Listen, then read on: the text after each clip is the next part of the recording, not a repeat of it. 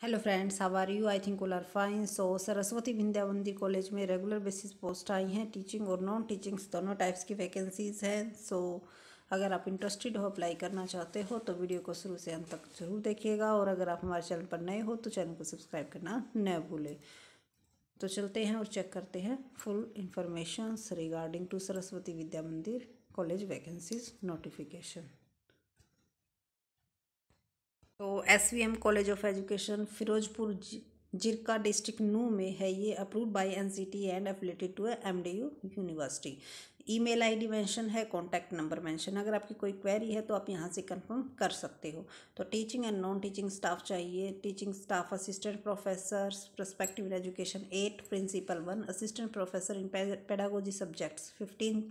maths के two, physical education, science के two bio science के टू एस एस के थ्री, इंग्लिश के टू, हिंदी के टू, संस्कृत के वन, होम साइंस के वन, कंप्यूटर साइंस के वन, कॉमर्स के वन, इकोनॉमिक्स का one. Health and physical education one, fine art one, performing art part one non teaching staff के भी रिक्रूटमेंट है librarian assistant one office superintendent one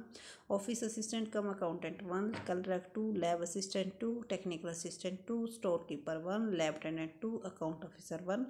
computer operator one माली two P N two sweeper two चौकीदार to जो qualification और pay scale रहेगा M H पर M D norms के according रहेगा, रोहतक और हरियाणा.